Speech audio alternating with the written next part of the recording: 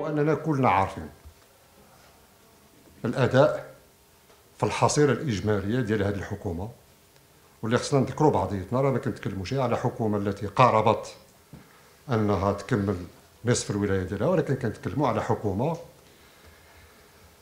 تدبر الشأن العام لمدة سبع سنوات.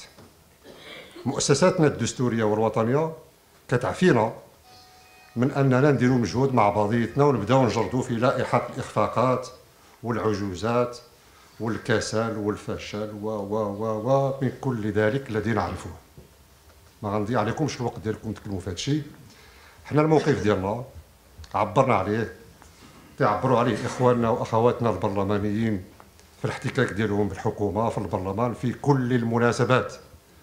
هذه حكومة لا نحتاج إلى إقامة الدليل على أنها تكبح وترهن وتعطل وتفرمل إمكانيات حقيقية يتوفر عليها البلد من أجل التقدم إلى الأمام.